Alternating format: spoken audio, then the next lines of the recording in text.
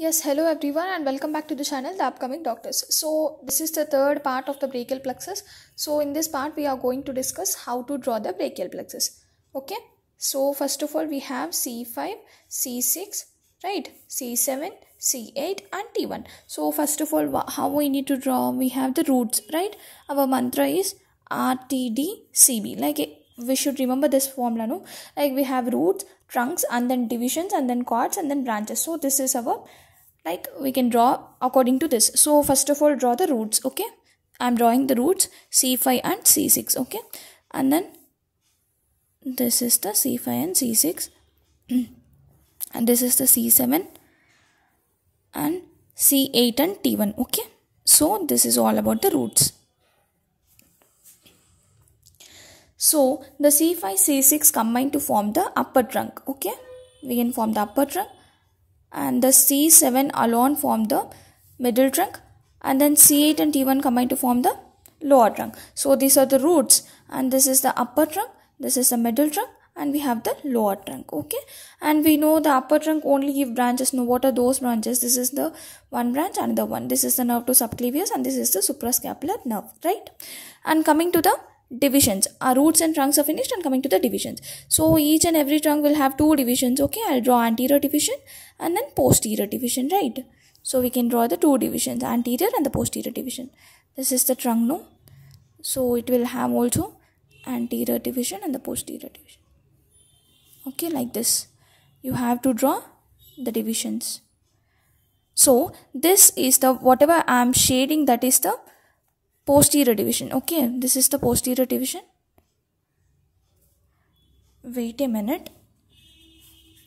Actually it doesn't come like this. First of all we have the trunk no? This is the one. And this is the anterior division. Yes this is the anterior division this is the posterior division of the what i'm shading is the posterior division okay and this is the posterior division of this and this is the posterior division of lower trunk. So this is the posterior division of the upper trunk posterior division of middle trunk posterior division of lower trunk. All this together form the posterior cord right? And the anterior divisions of both trunks that is the upper trunk and the middle trunk will form the lateral cord we have the cords that mnemonic is lpm no? I like pm modi that is uh, lpm lateral cord posterior cord and the medial cord so here we can see this one is the uh, two cords are finished. This is the lateral and this is the posterior. So we need to draw the medial. Medial is a simple one which means the anterior division of the lower trunk will form the medial cord right? So this is the medial cord okay? And uh, this one is the ulnar nerve okay? Ulnar nerve right.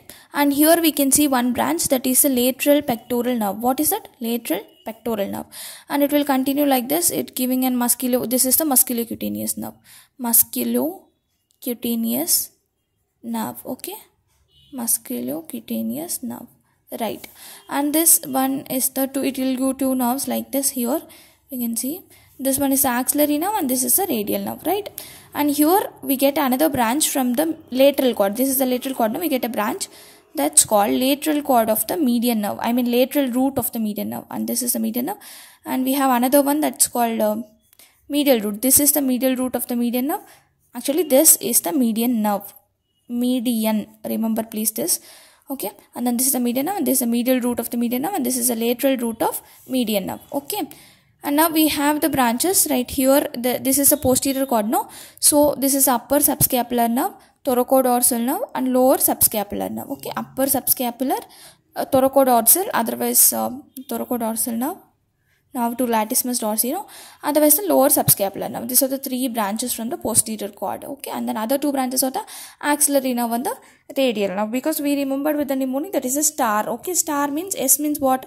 Upper subscapular and the lower subscapular. T means thoracodorsal nerve or the latissimus dorsi nerve to the latissimus dorsi a means axillary nerve r means radial nerve. Okay so this is all about the brachial plexus. Now we can uh, once again see what is this brachial plexus like how to draw. First of all c5 c6 c7 c8 and t1 and then we draw that this roots okay? This root this is all about roots here up to this this all roots okay?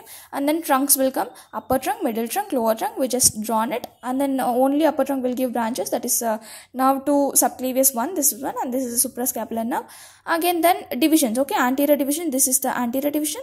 I mean this will be the cord no this is the anterior division of the uh, upper trunk and this is the anterior division of middle trunk. And this shaded portion everything is the posterior divisions of respective trunks upper middle and the lower trunk. And then this is the posterior cord in between. This is the lateral cord and this is the medial cord okay? And this is the ulnar nerve main nerves are ulnar nerve medial cord okay?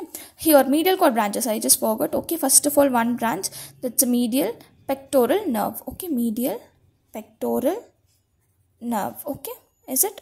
And then another one that is a medial cutaneous nerve of arm. Okay. Medial cutaneous nerve, nerve of arm. Another one that another branch is present that is a medial cutaneous nerve of forearm. Okay. And last one is ulnar nerve. This is a 4mu we remember no with a mnemonic that is a medial cord right what is that 4 m's? One is the medial root of the median nerve. This is the medial root of the median nerve.